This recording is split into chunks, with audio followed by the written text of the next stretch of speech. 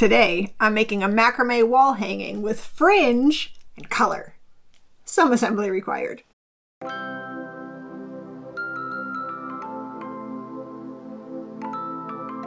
It's been a little while since I've done any macrame, and that seemed like a good enough excuse. So I thought that I would make something kind of fringy. I like the idea of those ones that kind of come down in a swoopy kind of shape in the middle. I've never really done any of that successfully. And I thought that I would add some kind of a color using liquid watercolors. So let's see how it goes. For this wall hanging, I'm using a stick about 23 inches long you could also use a dowel. I just have a ton of these guys. I also have a roll of tape, 10 cords, 61 inches long, but I do wish they were a little bit longer, maybe around 78 inches. I also have two 71 inch cords and a whole bunch of 41 inch cords. I ended up using 64, but you might use a few more or a few less, depending on your variations on the design.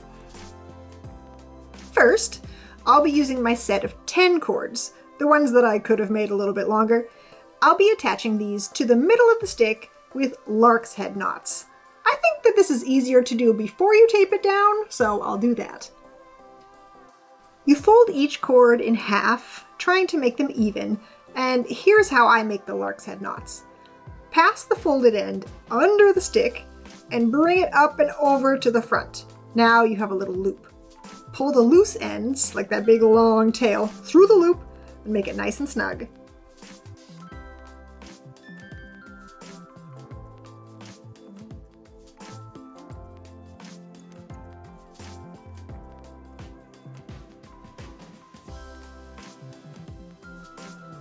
When you put on the next knot, you can move it over next to the first, or you can wait and do all of that later. Then I'll do the rest.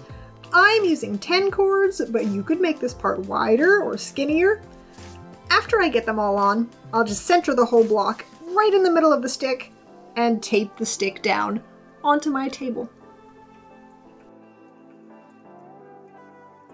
I want to make kind of a chevron shape with these. I'm taping the cords down so they at least have a chance at being even, and I'll be making diagonal half hitch knots from each edge down into the middle. So the outermost cords will be what we tie the knots onto. I'll get the right side cords out of the way and tape this angled cord down. And now I start from the left and move in towards the middle. So if the first cord is going to be the angle, the second will be what we use to make our first knot. Take the end and push it from right to left behind your angled cord. Pull that one snug, and then repeat the same movement again with that same cord.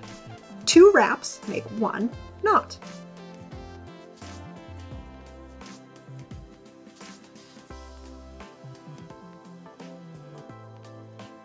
Pull that one nice and tight too. Now do the same thing with the next cord.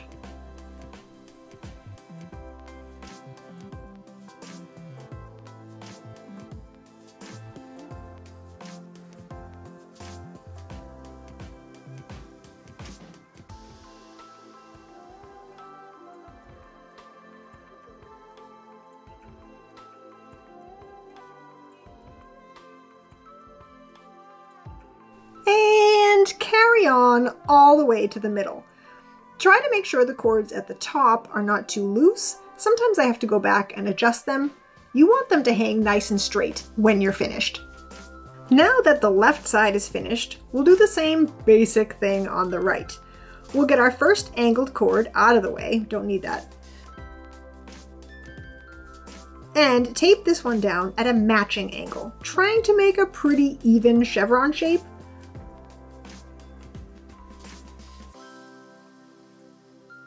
Then, just like before, we'll start with the second cord from the edge.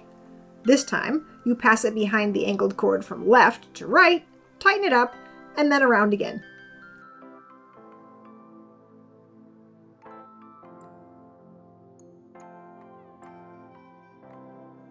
Yay! Now, again, keep going until the center. Naughty, naughty, not, not.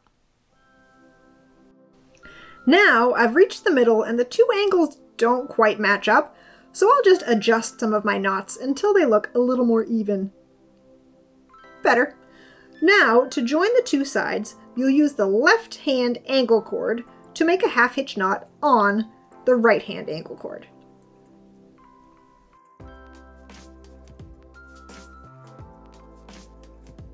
There! Now you have one row of your chevron. You could stop there, or add as many more rows as you like. I'm gonna make two rows, one more right underneath these. I will do just the same thing again for my second row. This time it's a little easier because you just practiced making a bunch of these knots, and you don't have to worry about keeping the cords nice and tight above the knots, which I wasn't really all that successful at up there on the right anyway. I've decided that I want to make another chevron down here, so I've taped the cords down right below the last one in an effort to keep the spacing even. So I plan to do exactly the same thing as the first one. This is definitely a part that can be customized. You can start your chevrons lower or higher, add more rows to each one, make them skinnier or wider, and make as many as you want. But remember, the more knots you plan to make, the longer you'll need to make your cords. As I mentioned earlier, I also want my wall hanging to have some fringe. I'm going to attach two more cords up onto the stick, one on each side, and I will try to space them evenly. They're going to meet in the middle, making a half circle kind of a shape.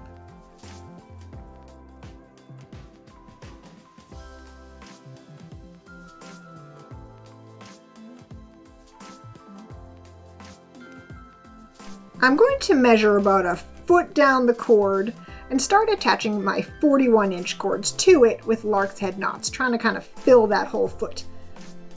For a different look, I'm going to try to make them the opposite way that I usually do, like over the top and around the back, and then stick the cords through.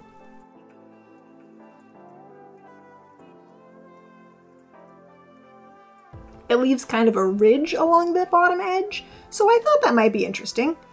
And here's another one.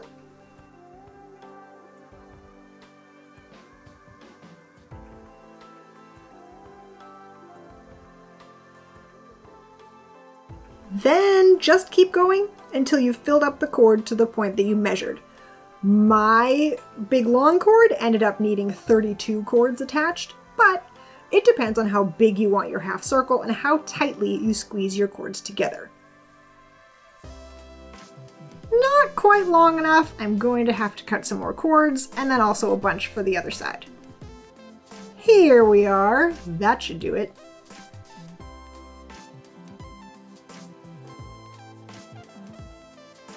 I'm attaching the same number of cords for the right hand side that I did on the left. And then I can just adjust the spacing so each side is the same length. So I want them to be even.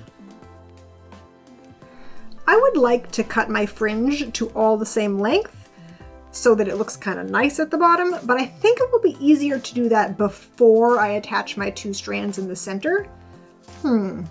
I think if I tape the cord down up at the top of my little background board, I should be able to smooth the fringe out and cut it evenly across the bottom. Okay, so it's not quick and easy, but it works, one by one. I'm putting the tape at the bottom of the fringe so I can try to make the other side the same length. Ta-da! I mean, it's close enough for me. It doesn't have to be perfect because it will hang at a curve anyway, but I think at least this way it'll be a little bit less jagged. Hey, it's time to join the two side cords in the middle.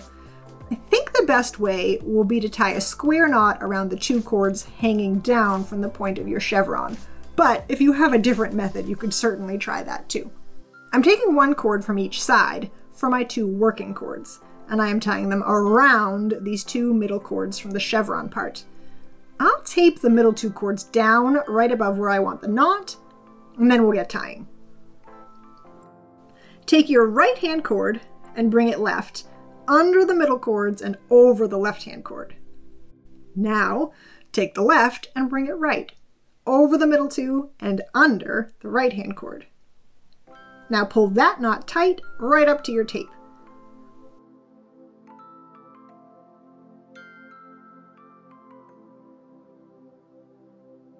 For the second step, start with the left hand cord and send it to the right, under the middle cords and over the right. And then the right will go over the middle and under the left. Finally, pull that one tight and your square knot is done. It sounds complicated, but with a little practice, square knots get a lot easier.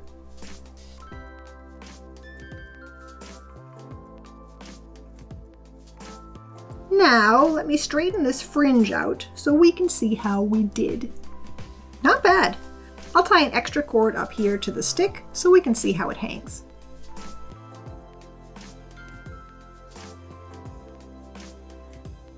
Ooh, cool, that looks pretty nice. If you like it like this, way to go, you're finished. But I cannot leave well enough alone, and I'm going to add some color. I put some scrap paper down to protect my table, but then I remembered how messy my watercolors are, and I added a few more layers. There we go. That should do it. All right, I taped the macrame down so it stays still, and I'm going to spray it with water. I think, in theory, this will help the watercolor spread throughout the whole cord. You could probably dip dye this whole thing, but I don't have a great place to do that, so I'm seeing if this works, for those of us that need an alternative. I feel like a little extra wet can't hurt, but I could be wrong. I'm sure we'll see.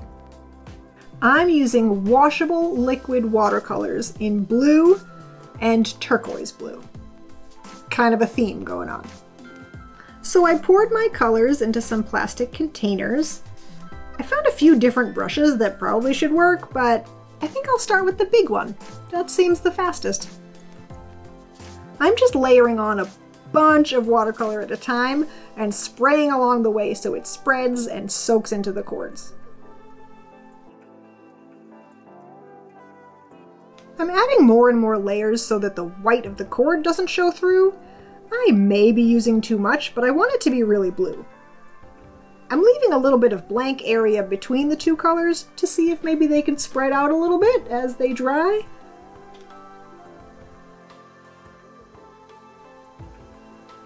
Now I'll hang it up to dry and let's see what happens.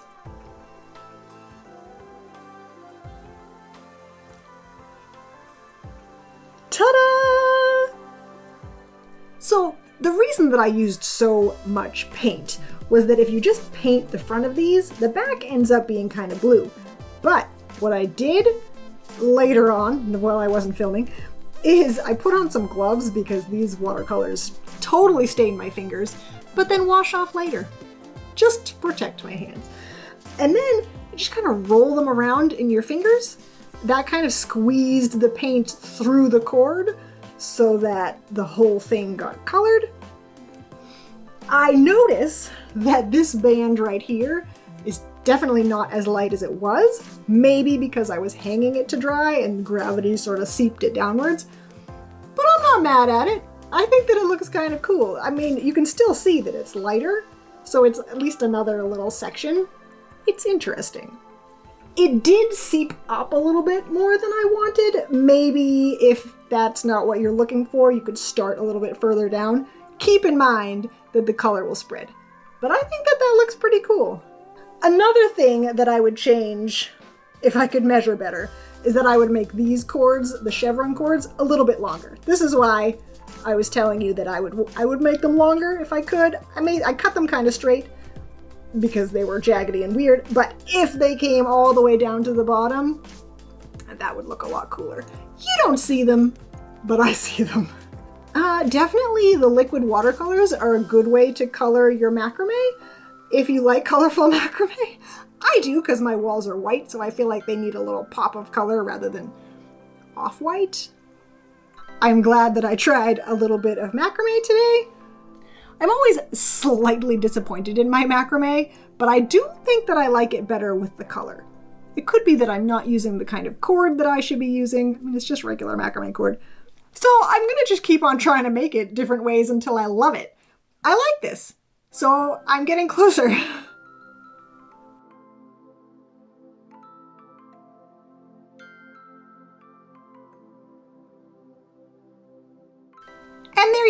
That's the project. And I think that you should try it, especially if you like color. If you like this video, feel free to give it a thumbs up. If you like this kind of video and you're not subscribed yet, you can do that right underneath the video. Click the all notifications button so you don't miss anything. Also, I have a macrame playlist and you can check that out while you wait for the next video. New videos come out on Tuesdays and Saturdays, so stay tuned for something exciting. And until then, be awesome, and I'll see you on the next video.